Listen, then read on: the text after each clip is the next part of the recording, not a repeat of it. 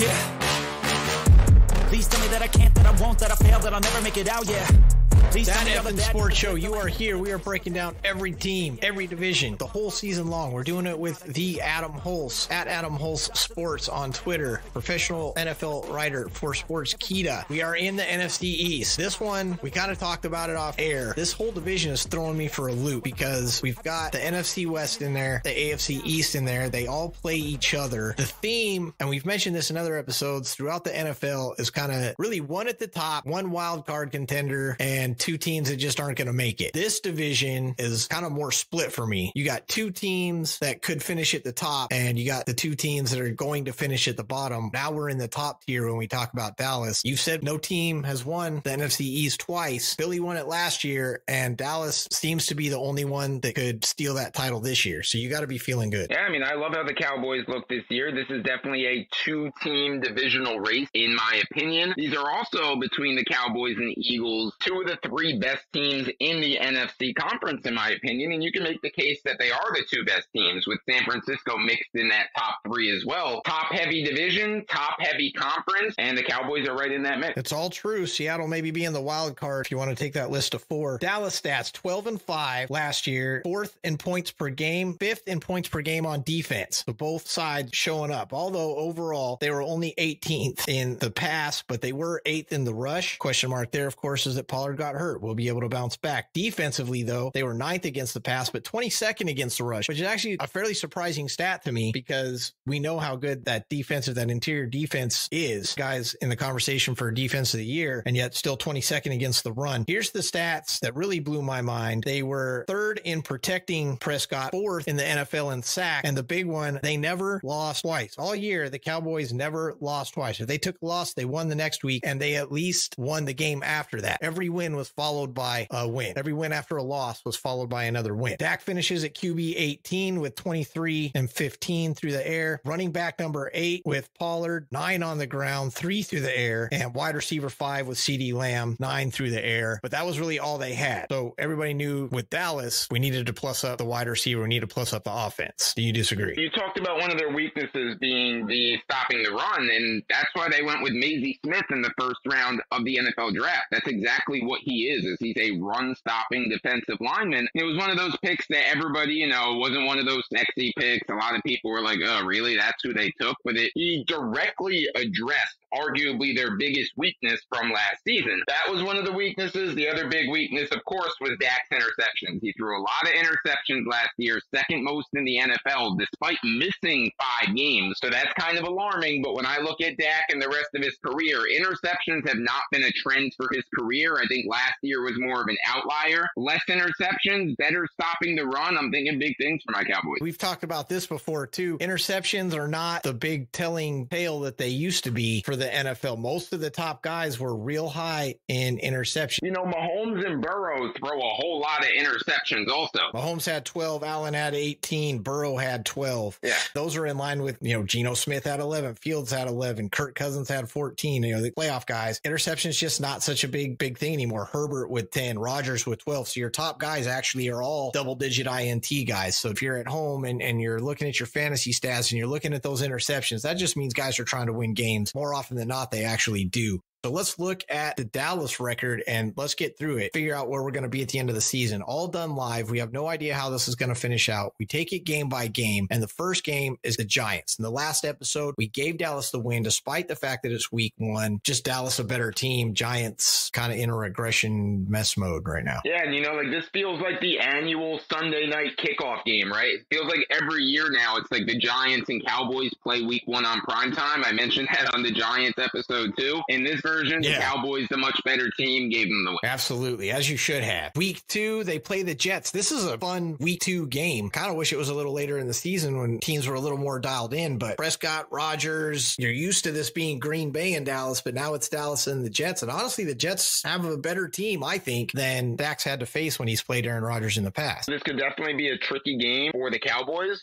Jets and Rodgers might be a team that gets better as the year goes on because of all you know, the changes with getting the new quarterback. Sometimes it takes a couple weeks to warm up to it. Because of that in particular, I'm going to favor the Cowboys in this one. I get that. I'm also taking the Cowboys. The Cowboys are at home. Rodgers typically starts off slow, even with an improved team. I think for me, the running back situation is going to kind of be the telling tale for this game, but I will give Dallas the win right now. Then they go to Arizona. We both pretty down on Arizona. Not a lot of bright spots in Arizona, we don't think, and not enough to beat Dallas in week three. Yeah, I mean, Arizona is not going to win very many games at all this year, in my opinion, and the Cowboys aren't one of them. We talk about the schedules. This is why we're breaking every team down by the schedule. We're doing it live. This is not laid out. We take this game by game. So week four, New England comes to Dallas. We talked about the mess. I love Belichick. Anybody can pull this off. It's Belichick. I just don't think they do it. The schedule for Dallas is laid out real nice, especially for the first half. Week four, I think they beat New England at home. Yeah, I mean, I agree. The schedule is definitely in the Cowboys' favor for this opening part of the season. In New England, maybe I'd give them a little bit of a better chance, but in Dallas, I mean, again, go position by position with the Patriots and Cowboys. The Cowboys are probably better at every single position group. Give me the Cowboys. At San Francisco, week five, I actually gave Dallas a loss at San Francisco because of San Francisco's defense. You gave them the win. Again, another classic matchup. This one's a little more hyped up as far as offense. I say I expect to see a lot more offense in this one. And that's hard to expect from San Francisco's quarterback situation this year. I think these two teams match up well. Other than that quarterback position, we have a split in the result. Now, I'll fully acknowledge that in San Francisco, the 49ers should win this game. So me picking Dallas is a mini upset pick and maybe a little bit of a bias pick as well. But Dak Prescott looking for his revenge after getting eliminated two years in a row by the 49ers in the playoffs.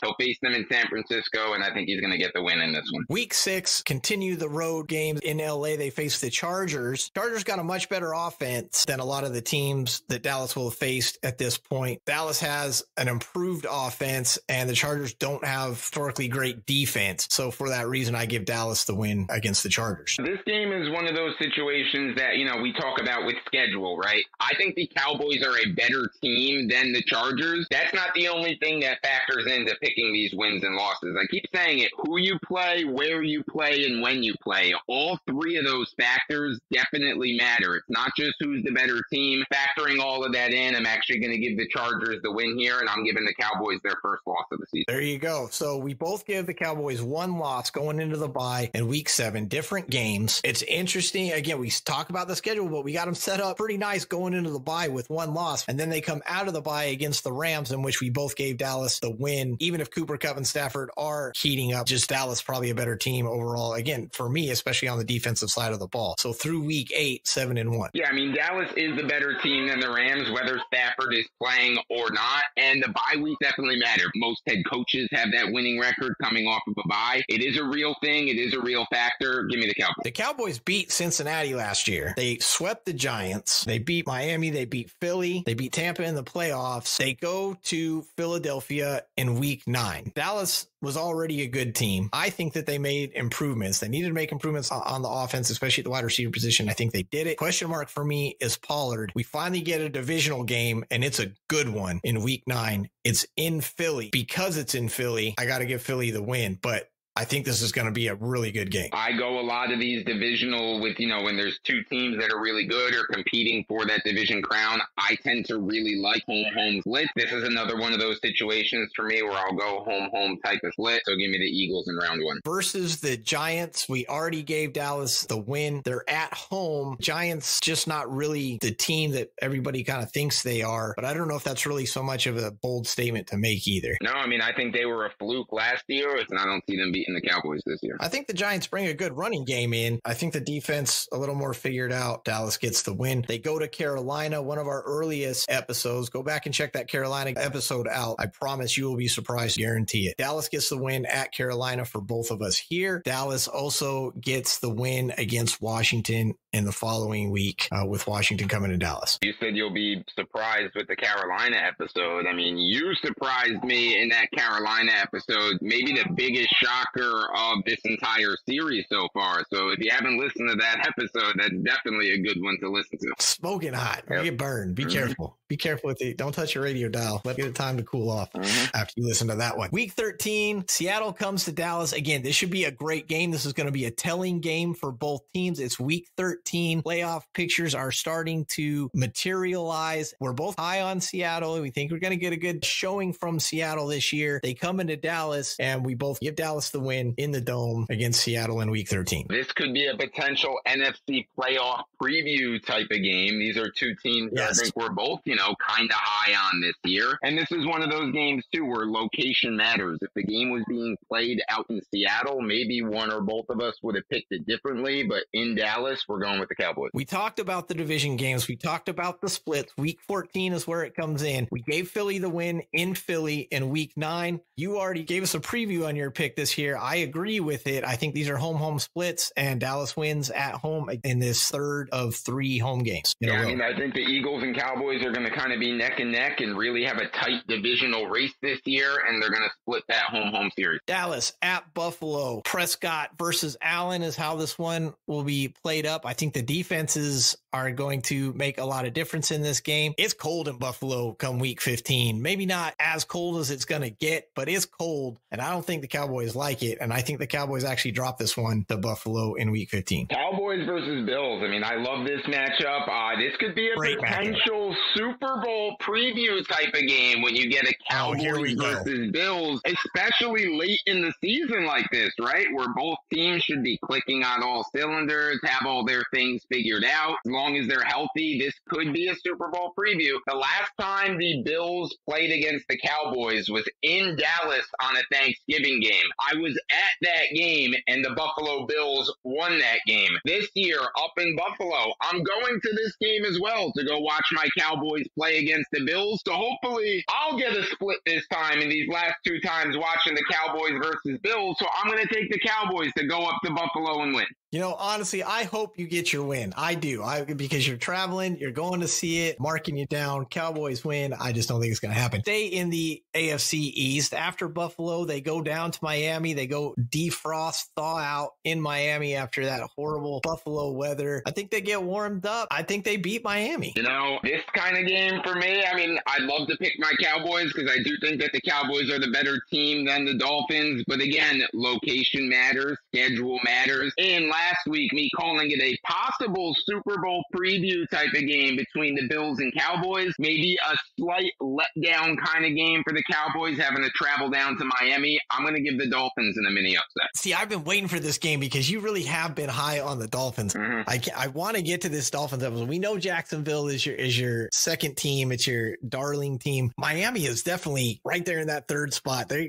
ranking up there. You're really talking up Miami this year. You really like these guys. last year, even with all the games that Tua missed, they still made it to the playoff. I'll give Tua the benefit of the doubt. Hopefully, he can stay healthy. And I think some people forget that all these superstars that they brought in recently, like it's not just Tyreek Hill. They recently added Bradley Chubb, and during this offseason, they traded for Jalen Ramsey. Like their roster is pretty loaded right now. Plus, there's these rumors going around that they might be the team that goes and grabs Dalvin Cook as well, add him into the mix or another running back. I mean, on paper, this Dolphins team is very, very good. Good enough to beat your Cowboys, says you. Not good enough for me. Detroit in week 17 comes to Dallas. I'm really looking forward to this game. I can't wait to watch this game. I hope it's as good as we're expecting. I, Detroit, I think, is going to bring a little fire this year. I'm actually having kind of a hard time with this game, to be perfectly honest about it. Yeah, I mean, you know, both of these teams expect to make the playoffs this year. This could be another, you know, like I said about the Seahawks game with the Cowboys, this could be another potential playoff preview type of matchup. The Lions actually favored to win their division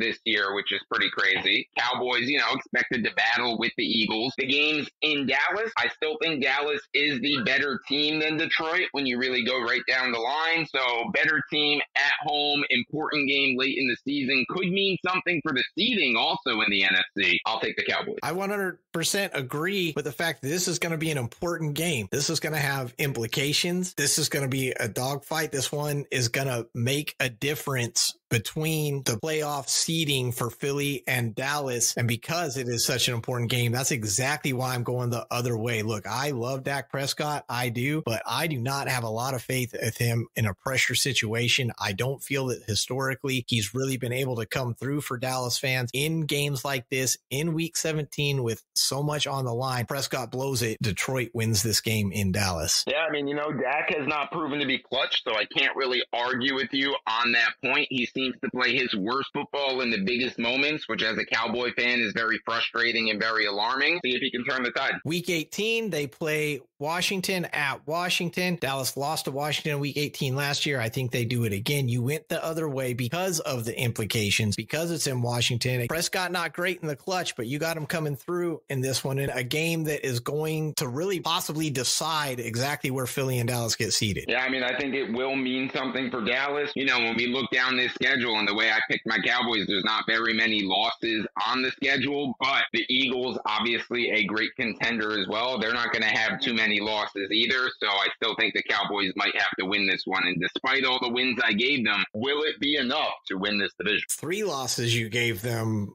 14 and three. That's a that's a nice record. That's pretty hefty there, Adam Hulse, mm-hmm. for your Dallas Cowboys. Go back and listen to the Pittsburgh episode. That's my my Steeler team. Maybe I shouldn't be surprised here. Dallas going 14 and three. When you hear it, when you see it, because again, we do this game by game, we do it live. Still feel good about it? Yeah, I mean, I feel good about it. It's probably, you know, a couple more than most would think that they're going to win. But look, they won 12 games last year. I have reason to believe they can be as good, if not better than last year. So getting two extra wins than the year before is not like crazy outlandish. Let's remember too, they added Brandin Cooks that stretches the field for the offense, something that they were missing last year. And they get Stephon Gilmore, former defensive player of the year award winner, play on the other side of Diggs. That CB2 spot was one of their big weaknesses last year. As long as Gilmore can stay healthy, it won't be a weakness this year. I already mentioned Mazi Smith, run stopper in the middle. The Cowboys addressed their weaknesses from last season. They may not have made any flash moves like Jerry Jones is used to doing, but they truly did address the issues from a season ago. So watch out for the Cowboys. I absolutely could not agree more. They absolutely did a great job addressing their weaknesses. And to that point, I have them finishing at 12 and 5 again. That two game difference, as you mentioned, will it be enough? That is the question that you have brought up that people are going to be wondering about. We're going to answer it in the next episode. Philly's up next. We just went through Dallas 12 and 5 for me, 14 and 3 for Adam, and we're going to see if it's enough to win the division. NFC East wraps up in the next episode. Make sure you join us. Go check out what Adam has to say about this and the rest of the NFL at Sportskeeda. You can find them at Adam Hulse Sports on Twitter. This is that effing sports show. Find us everywhere